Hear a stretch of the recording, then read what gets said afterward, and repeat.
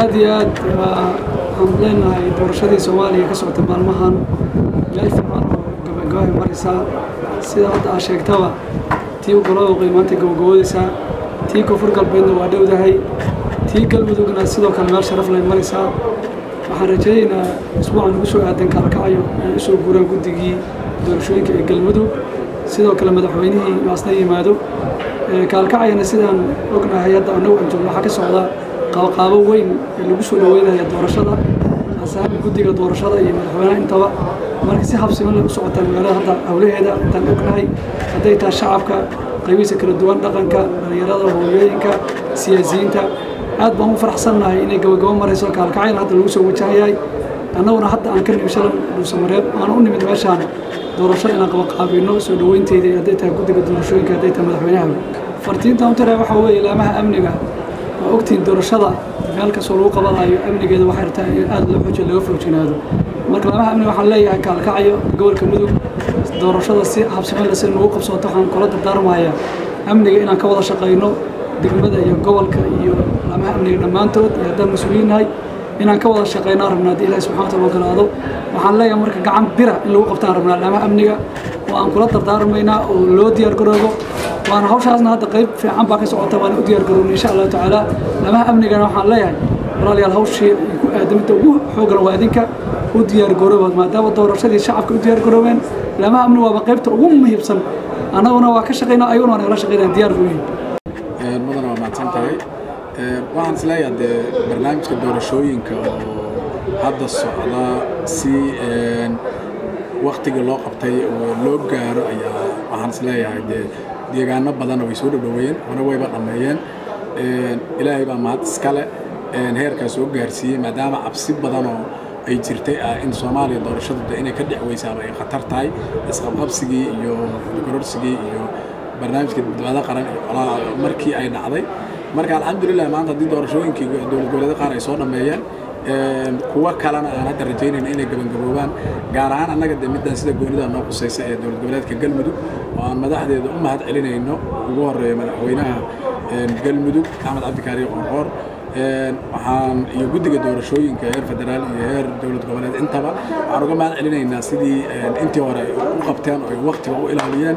Haddana waxaan codsanaynaa maadaama afar kursina dhuusamareeb ku hartay koo iyo toban kursina ay gobolka mudug xaruntiisa gaalkacyo yaaliin in ayagana naloo dedejiyo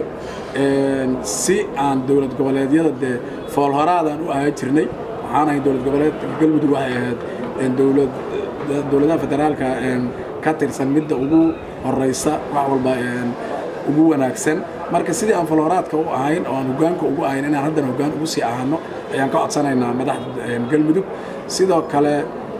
madaxda mudug gobolka mudug gudoomiyaha gobolka mudug ama guddoonka gobolka mudug iyo guddoonka degmada iyo ciidamada amniga ayagana waan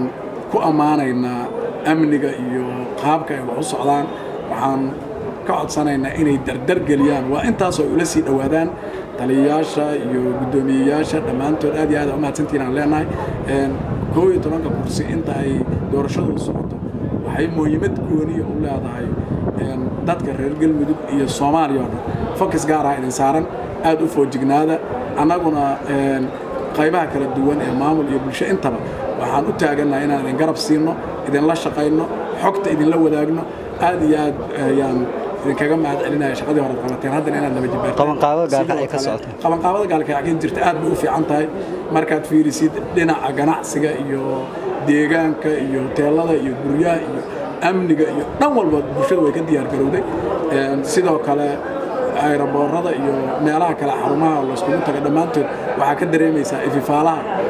gobolka mudug doorasho inay ku soo socoto gaar ahaan magaalada gaalkacyo maamulka iyo bulshada way u diyaar garoobeen waana uga mahad celinaynaa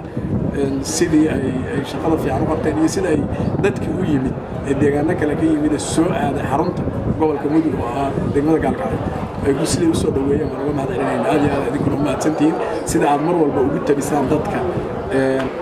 warka wanaagsan iyo wacyiga markaas jira. Aad baa u mahadsantahay walaalka bismi illaahi raxmaan iraxiim waxaan ku faraxsanahay siday u socdaan doorashooyinka waxaana sidoo kaleeto ugu mahad celinayaa madaxweyne qorqor feeska koowaad doorashooyinka inuu dhuusamare uu soo gabagabeeyo. Feeska labaadna oo koob iyo tobanka kursi taalla gobolka mudugna inuu ay ka dhici doonto diyaargarowgeedana aad iyo aad u weyn oo laga dareemi doono magaalada. Dee waxaan leeyahay doorashooyinkii feeska koowaad ee ka dhacay dhuusamareeb waxaan rajaynayaa inuu u noqdo cashar. Aysan u fududaa doonto koob tobanka kuraas ee ka dhacaysa gobolka sidoo kaleeta waxaan soo dhaweynayaa somalilan doorashadeeda ay kuraasteeda taallay muqdisho oo maantay soo gabagabownayso waxaan ugu mahad celinayaa guddigii qalqaaminaya doorashada boqolkiiba boqol oo mahadsantiin aan leeyahay baahinteena sidoo kaleeta aadan u mahadsantihiin telefishinka qaranka iyo konsantiifkii galmudug dhammaan haddaan nahay shacabka reer gaalkacyood ama gobolka mudug annaga waxaan u aragnaa doorashooyinka soomaaliya ka socda inay u socdaan sidii loogu talagalay. Khaasatan gaalkacyo doorashooyin ka dhacayana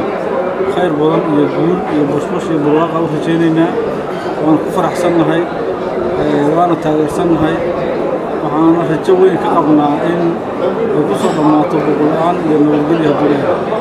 qaybta koowaad saaka somalilandna la soo gebagabeeyey kuraastii gaalkacyaha iyagana la soo fasaxay. Bal shacabka si guud qabanqaabada gaalkacyo ka socota sidee bay u egtay waa mahadsan tahay. Gaalkacyo si weyn ayay u doorashooyinkaas qabanqaabadeedu way ka muuqataa. Dhan kasta xagbay tahay xagga amniga xagga bulshada. Marka aad baa loo warsugayay laga warsugayay marka waxaana rajo weyn ka qabnaa inay noo waana ka sheekayna insha allah